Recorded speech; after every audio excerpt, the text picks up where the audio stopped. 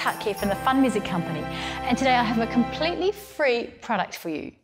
Now, it's a set of fun songs and activities for interactive whiteboard, and it's all about winter holidays and Christmas. Now, I know what some of you might be thinking, and a lot of you probably teach in public or secular schools where you have to be politically correct and not mention the word Christmas because of the whole religion thing. I don't really have much to say to a conversation for anyone there, and I'm not going to tell people what to believe or criticise their beliefs. So I know this is not for everyone.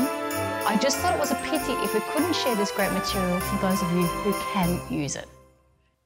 This is a free ukulele arrangement for you, and it's for the song Jingle Bells, which we have found works really well with all ages.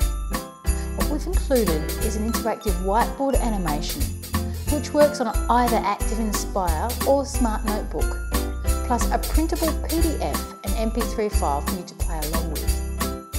Now we've slightly modified the song in order to fit just the three primary chords of C major in, and that is C, F and G7 chord.